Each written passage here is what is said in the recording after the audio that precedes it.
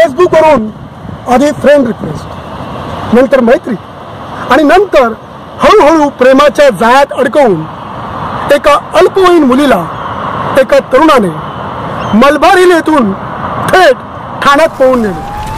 ठाण्यातील एका प्रेम प्रकरणाला ठाणे पोलिसांनी कशी वाचा फोडली? हे बघूया आपण क्राईम केसच्या पुढील एपिसोडमध्ये तुषार खेडेकर सोबत तर अवश्य बघा क्राईम केसचा पुढील एपिसोड